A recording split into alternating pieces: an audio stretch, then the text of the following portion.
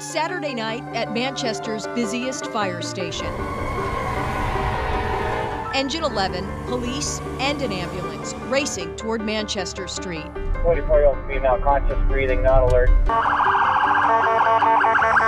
Chief, be advised I have one also coming in for Hines Street. The manpower for a single overdose call is immense. Locating the victims in a winding rooming house, a challenge.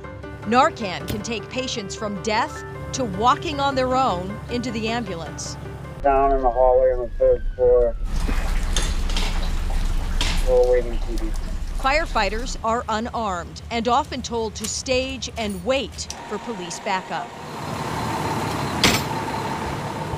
I opened the car and put my purse into the back seat, and at that point, I heard somebody grunt. Chantel is terrified. A strange man unconscious in her car. It seemed as though he was slumped over, so I had my friend call 911. Chief Martineau says police had no available crews for this suspected overdose call. And then, Got a gun? Yeah. the only person with a weapon at this point is the alleged drunk man.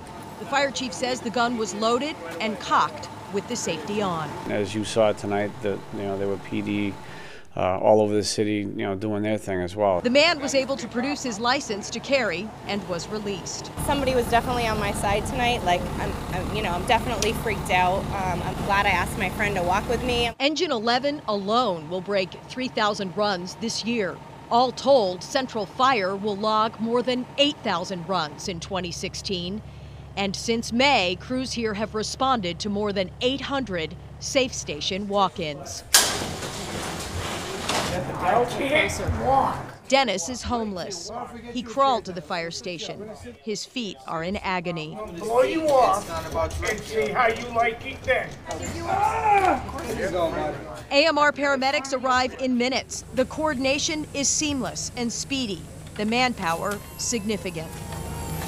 Good luck, Dennis. See you, Dennis. Thank you. Sorry. We've added seven to eight hundred runs with the safe station intake. So the burden on, especially here, ninety percent of those safe station uh, calls are here at headquarters. The 24 hour shift comes in waves. This night allowed for a firehouse dinner. Chicken pot pie from scratch.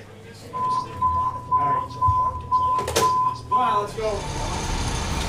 An alcohol overdose deploys a team of firefighters who approach with firm kindness. She was actually at a, a recovery center here. She's an inpatient here, so she kind of fell off the wagon. They wear one uniform, Yep, you're welcome.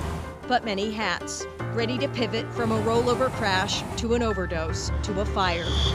The opioid crisis has increased the demands on this department of 223 firefighters. The guys that work here doing this uh, do this because they love what they're doing.